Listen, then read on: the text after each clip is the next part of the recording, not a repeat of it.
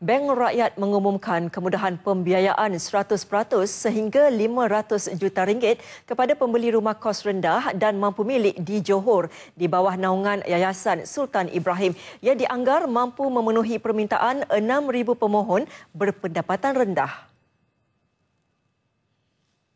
Menerusi kerjasama strategik itu, penjawat awam dan swasta di Johor boleh melakukan pembayaran deposit serendah RM1 bagi tempahan rumah jenis itu yang bernilai bawah RM100,000 seunit.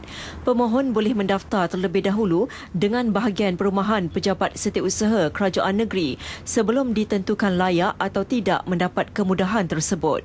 Bank Rakyat tidak menolak untuk menambah lagi jumlah pembiayaan tersebut jika mendapat sambutan menggalakkan dari kepada pembeli.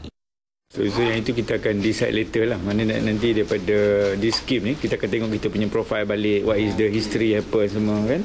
Ha, then moving forward tu kalau this project is good then we are going to add apa additional additional ni lah fund Datuk Mustafa menghadiri pelancaran model menara Bank Rakyat Johor di Persada Johor Bahru.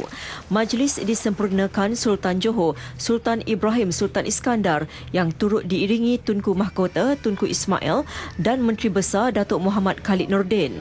Menara 37 tingkat melibatkan kos 460 juta ringgit itu dijangka siap dalam tempoh 3 tahun. Ia dijangka mampu menarik pelabur asing untuk menjalankan perniagaan di Johor.